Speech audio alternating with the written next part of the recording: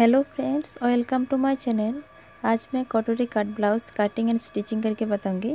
उसके लिए मैंने 80 सेंटीमीटर फैब्रिक लिया है। ये एक ब्लाउज़ पीस है। अभी इसको कटिंग करके दिखाऊँगी। मेरे जो ब्लाउज़ की मेज़रमेंट है, वो है 35 छाती 35 और कमर है 31 तो पहले ब्लाउज़ का जो पीछे का पार्ट है, वो कटिंग करके दिखाऊँगी।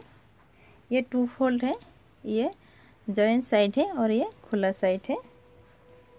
पहले ब्लाउज़ का लंबाई लूँगी। लंबाई लूँगी मैं फिफ्टीन फिफ्टीन लिया लंबाई। उसके बाद शोल्डर लूँगी।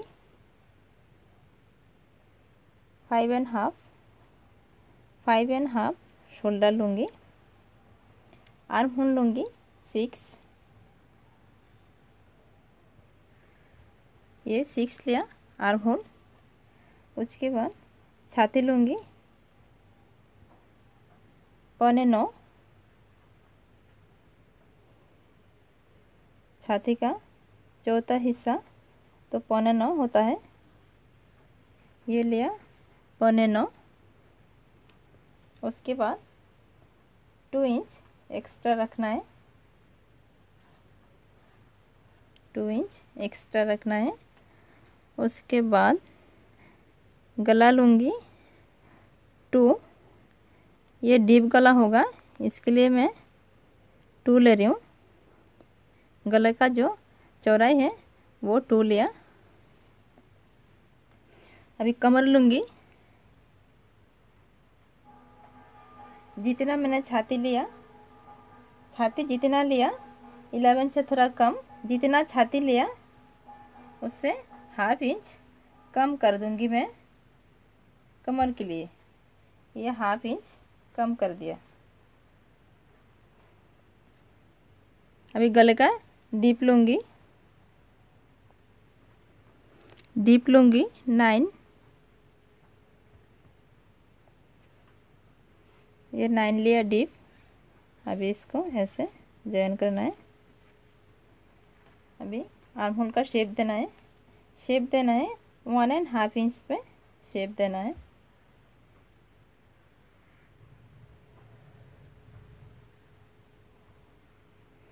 अभी गले का शेप देना है।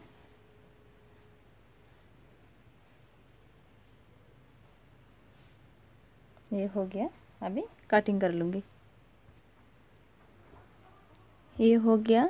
अभी फ्रंट पार्ट कटिंग करूँगी। ये टू फोल्ड किया।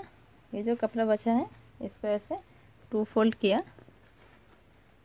उसके बाद जो बैक पार्ट है, इसको ऐसे रखना है, इसके ऊपर, ऐसे। जो आर्म होल है, ये इस तरह रहेगा। ऐसे रख के सीधा जैसे है ऐसे निशाना लगा लेना। Same to same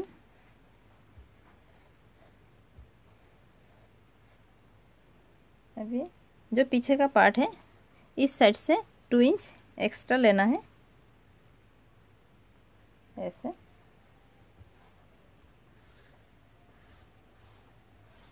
to inch extra ले लिया। अभी इसको हटा देना है। अभी पहले आर्म होल का शेप देना है। इसको ऐसे हाफ़ इंच अंदर की तरह देना है। ऐसे। उसके बाद गले का डीप लेना है। Five and half. ये हुआ five and half. Five and half उसके बाद इस साइड से इधर आना है थ्री इंच थ्री इस साइड से इस साइड थ्री इंच उसके बाद ये जो निशाना है इसको ऐसे इसके साथ जोड़ देना है ऐसे. उसके बाद यहाँ से सिक्स इंच नीचे यहाँ सिक्स इंच नीचे आना है. उसके बाद इधर लेना है eight and half, eight and half लेना है। अभी इसको ऐसे जॉइन करना है। ये हुआ एट एंड हाफ़, अभी इसको ऐसे जॉइन करना है। एट एंड हाफ़ का हाफ़ लेना है। तो फोर एंड हाफ़ से थोड़ा कम है। ये अभी ऊपर की तरह वन एंड हाफ़ इस साइड भी वन एंड हाफ़ उठाना है। अभी इसको ऐसे मिलाना है, ऐसे। अभी यहाँ से टू एंड हाफ़ से थोड़ा ज़्यादा है, पौने तीन। अभी इसको ऐसे मिला देना है। अभी यहाँ हल्का सा शेप देना है ऐसे। उसके बाद यहाँ लेना है फोर एंड हाफ़ ये हुआ फोर एंड हाफ़ जैसे, सीधा वैसे ही लेके आना है। ये हुआ। और इस साइड है हाफ़ इधर हाफ़ लेना है और इधर लेना है वन एंड हाफ़ अभी इसको ऐसे मिलाना है। वन एंड हाफ़ इधर half one and half one and half इसको मिला देना है। अभी इस साइड हल्का सा ऐसे उठा देना है, ऊपर की तरफ़। इस साइड लेना है सिक्स एंड हाफ़ अभी इसको ऐसे मिलाना है। ये जो गला है, इसको हल्का सा ऐसे ऐसे शेप देना है। ज़्यादा नहीं, ये हो गया। अभी कटिंग कर लेना है।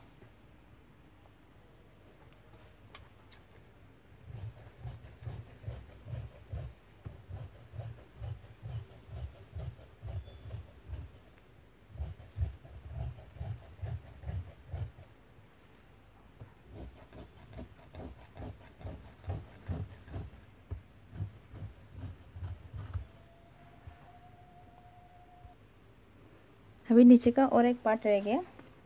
वो काटने के लिए इसको ऐसे रखना है। इसके बराबर से लेना है। उसके बाद यहाँ से फाइव इंच लेना है। मैं ज़्यादा रखूँगी, कम नहीं रखूँगी। बाद में ज़्यादा हो गया तो काट के फेंक दूँगी। उसके बाद ऐसे शेप दे देना है।